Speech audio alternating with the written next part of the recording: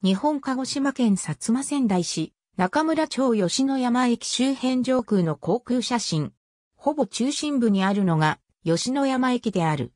国土交通省国土地理院地図、空中写真閲覧サービスの空中写真をもとに、作成吉野山、駅跡中村町は、鹿児島県薩摩仙台市の町。旧薩摩国薩摩郡平助郷中村、薩摩郡平助、村大あざ中、薩摩郡川内町大あざ中、薩摩郡川内町中村町、川内市中村町。郵便番号は895-0003。人口は566人、世帯数は278世帯。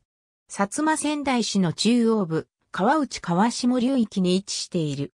アザ駅の北方には、東郷町の淵、南方から東方にかけては、日脇町東の原、南方には営利町、西方には、天達町、楠本町、東方には、九十町がそれぞれ隣接している。アザ駅の中央を南北に日脇川が流れ、これに沿って、鹿児島県道335号市比や東郷線が通り、東西に鹿児島県道394号山崎、川内線が通っている。以前は宮野城線が南北に通っていたが、1987年に廃止された。廃止されるまで地域内には吉野山駅があった。旧吉野山駅跡には現在吉野山郵便局があり、付近には薩摩仙台市立平助東小学校がある。東部には大俣、高迫、飯母などのため池がある。中村という地名は、鎌倉時代より見え、薩摩国入ラインのうちであった。江戸時代には、薩摩国薩摩郡日脇里のうちであった。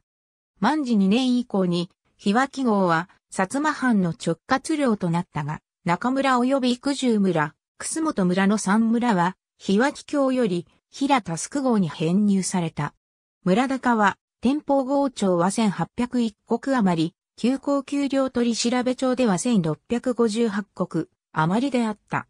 1889年に町村制が施行されたのに伴い、平田宿号の区域より平助村が成立した。それに伴いそれまでの中村は、平助村の大技、中となった。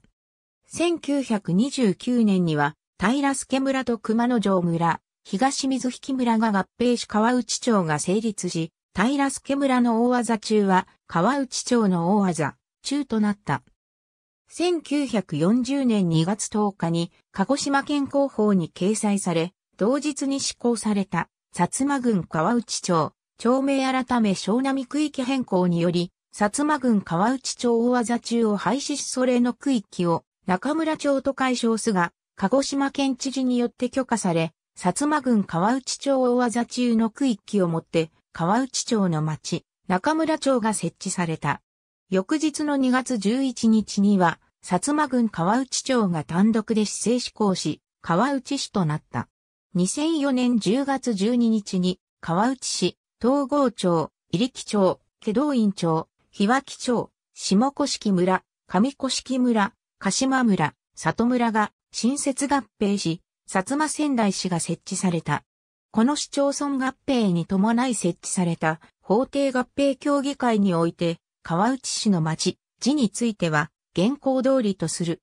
と協定されたため、名称の変更は行われずに、薩摩仙台市の町となった。以下の表は、国勢調査による小地域集計が開始された1995年以降の人口の推移である。私立小中学校の学区は以下の通りである。鹿児島県道335号及び鹿児島県道394号。ありがとうございます。